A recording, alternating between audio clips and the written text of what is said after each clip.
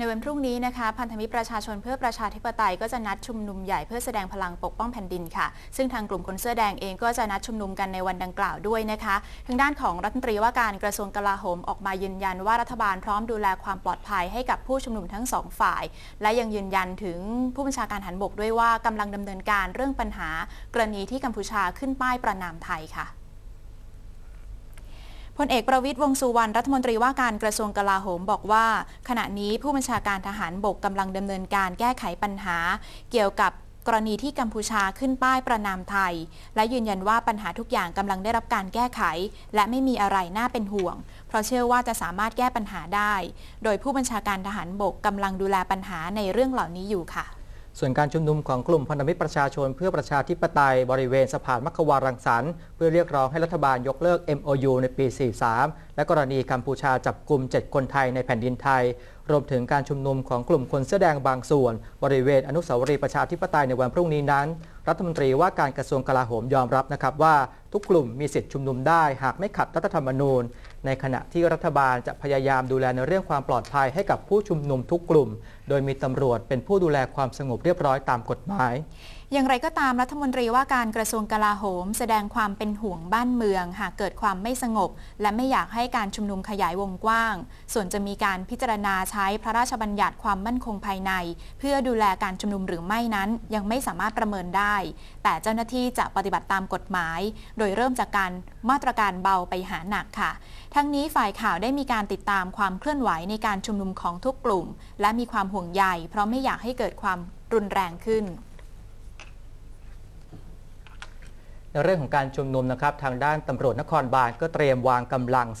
220 กองร้อยครับ เพื่อดูแลการชุมนุมของกลุ่มพันธมิตรประชาชนเพื่อประชาธิปไตย โดยมีกำลังจากตำรวจภูธรพร้อมด้วยส่วนอื่น ๆ ที่พร้อมให้การสนับสนุนครับ โดยยืนยันนะครับว่าจะไม่ให้กลุ่มผู้ชุมนุมนั้นสะอ่าชุมนุมบริเวณที่กีดขวางสถานที่สำคัญทางราชการครับ ลตำรวจตรีปิยะอุทายโยโฆษกกองบัญชาการตำรวจนครบาลเปิดเผยถึงการเตรียมความพร้อมรับมือการชุมนุมของกลุ่มพันธมิตรประชาชนเพื่อประชาธิปไตย ว่าตำรวจจะใช้แผนกรกกรกฎในการดูแลนะครับ โดยมอบหมายให้พลตำรวจตรีวิชัยสังประภัย ผู้บังคับการตำรวจนครบาลที่ 1 และพลตำรวจตรีสุวัสด์แจ้งยอดสุด แจ้งยอดสุข ผู้บังคับการตำรวจนครบาลที่ 6 เป็นผู้เจรจากับแกนนำกลุ่มผู้ชุมนุม และมีพลตำรวจตรีกรีริน อินแก้ว รองผู้บัญชาการตำรวจนครบาลเป็นผู้บัญชาการเหตุการณ์ โดยเบื้องต้นคาดว่ากลุ่มพันธมิตรจะมีการชุมนุมเป็นเวลาหลายวัน จึงได้จัดกำลังไว้ทั้งสิ้น 20 กองร้อยครับ แบ่งเป็นบริเวณสะพานมัคควาน 6 กองร้อย และทำเนียบรัฐบาล 4 กองร้อย เน้นห้ามกลุ่มผู้ชุมนุมเข้าหรือว่ากีดขวางสถานที่ราชการสำคัญ โดยต้องให้เจ้าหน้าที่สามารถเข้าไปปฏิบัติหน้าที่ได้ และให้การชุมนุมกระทบกับประชาชนและผู้ใช้รถน้อยที่สุด